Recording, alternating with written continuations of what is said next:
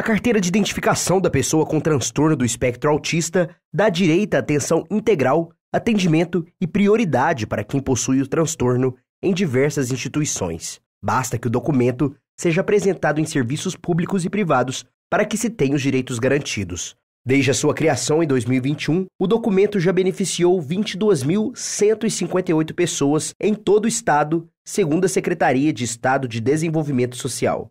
Agora, ela passa a ser válida em todo o país. Segundo a lei, caso algum estabelecimento ou pessoa recusar a carteira de identificação da pessoa com transtorno do espectro autista, pode pagar multa que será aplicada pelo Poder Executivo Estadual. Para requerer a carteira em Minas Gerais, é preciso acessar o site cidadão.mg.gov.br e clicar em Desenvolvimento Social. Em seguida, em carteira de identificação da pessoa com transtorno do espectro autista e, por fim, solicitar. Preencha todos os campos obrigatórios, anexe documentos pedidos e envie a solicitação para análise.